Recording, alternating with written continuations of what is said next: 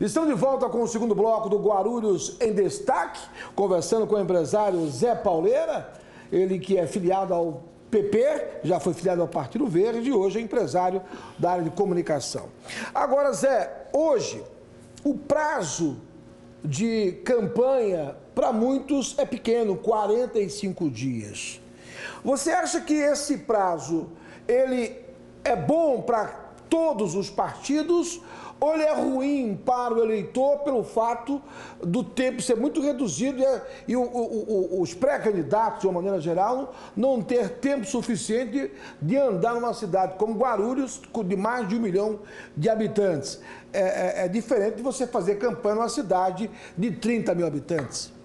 Com certeza, presta atenção.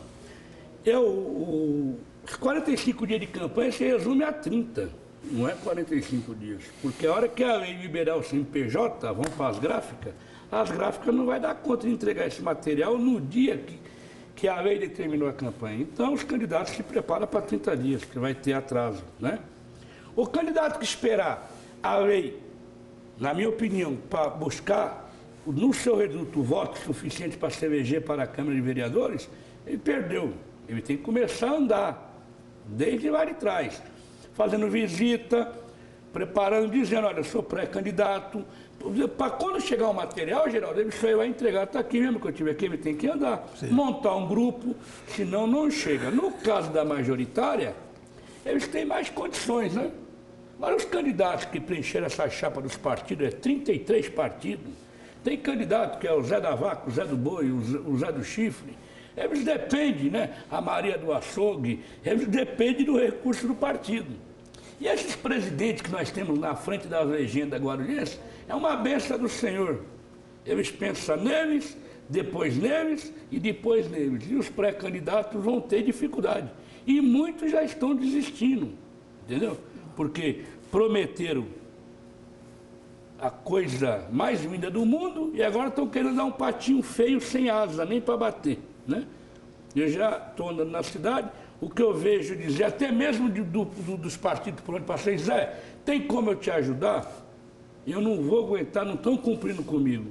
Então você pode ter certeza, de 1.700 candidatos, se eu não me engano, vai disputar as eleições uns 500. 1.200 larga, joga a toalha. Partidos que tinha quatro para montar duas cadeiras vai cair para uma. Tem partido que não vai, não vai atingir coeficiente, pode registrar. Vai ter cara com 3 mil votos, 2.800 votos para entrar numa legenda, mas o partido que ele está não concluiu, né? Trabalho mal dos presidentes da legenda, no meu ver, né? Não se prepara. Você falou algo.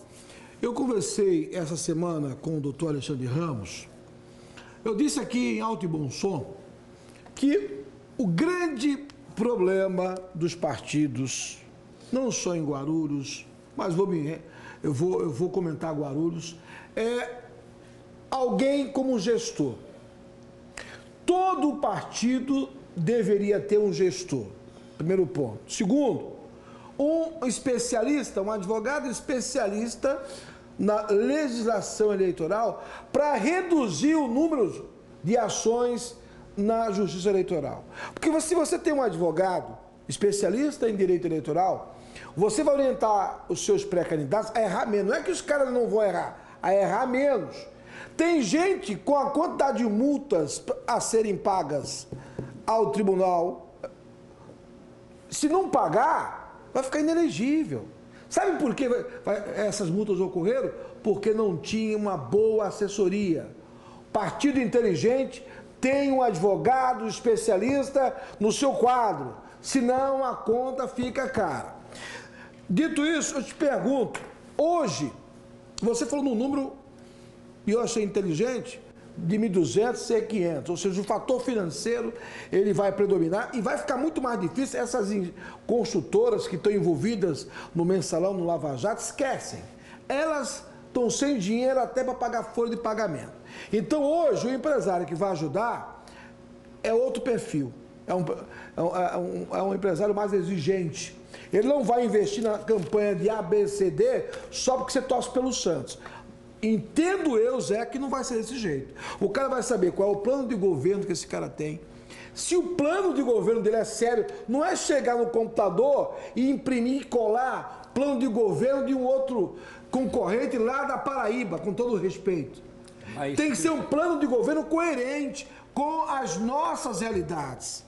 Não adianta você imprimir um plano de governo só e falar, olha, eu tenho um plano de governo. Mas esse plano ele é praticável? É praticável em Guarulhos? Então eu vejo que hoje, conversando com alguns empresários, não vai ser fácil os pré-candidatos à Prefeitura de Guarulhos conseguir apoio comercial. Vamos por parte, hein? Aí você me fez três perguntas. Isso. Eu vou responder pela primeira. Questão do partido e advogado. Primeiro precisa mudar a mente dos presidentes aqui de Guarulhos. Porque eles não pensam partidariamente, eles pensam neles. Me, me permite pegar Sim. a sua agenda? Sim. Tem muitos partidos que é isso aqui, debaixo do braço. Eles não têm uma sede própria, um local para dar uma aula de política para os seus pré-candidatos. Daí, quando está faltando um mês, dois, para as eleições, eles contratam um advogado, um profissional. Esse advogado, ele é contratado só por dois meses, sendo que ele deveria ser contratado para o partido durante toda a época de eleição e fora da eleição, para eles ir preparando o quadro político para que o candidato saia à rua, sabendo o que significa a lei orgânica do município, sabendo o que ele vai fazer, como se ele ganhar as eleições, entendeu? Uhum. Ou enfim, ele, os partidos não preparam os seus pré-candidatos. E a questão financeira, o que, que eles fizeram para montar a chapa? Prometeram muita coisa para todos os pré-candidatos. Os coitados, me perdoe usar o termo coitado, não quero ser melhor que ninguém, eles acreditaram.